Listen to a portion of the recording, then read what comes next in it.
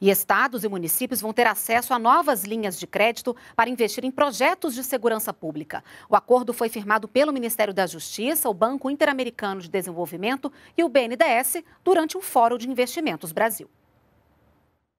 O Ministério da Justiça quer motivar a apresentação de projetos que sejam mais ambiciosos no âmbito da segurança pública, que tenham um objeto mais abrangente, unificação das comunicações entre as polícias através da utilização de, de rádios digitais, questões relacionadas a investimento em iluminação pública em áreas urbanas de elevada criminalidade. Ou seja, é necessário ter bons projetos na área de segurança pública. E hoje, no Fórum de Investimentos, o ministro da Justiça e Segurança Pública vai falar sobre a segurança jurídica e a agenda anticorrupção.